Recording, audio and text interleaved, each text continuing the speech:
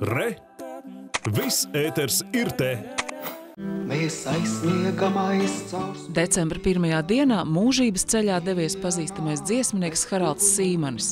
Viņa unikālā balss iegūlusi daudz klausītāju sirdīs jau kopš 1980. gada, kad dziesma ezers iekļuva mikrofona dziesma aptaujas populārāko dziesmu desmitniekā.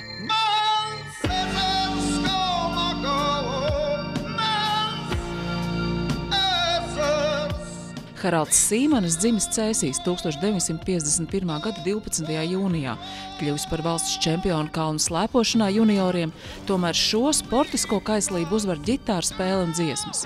Apguvis jumiķa profesiju, restaurējis daudzas Latvijas baznīcas un tur iemācījies arī ērģeļu spēli.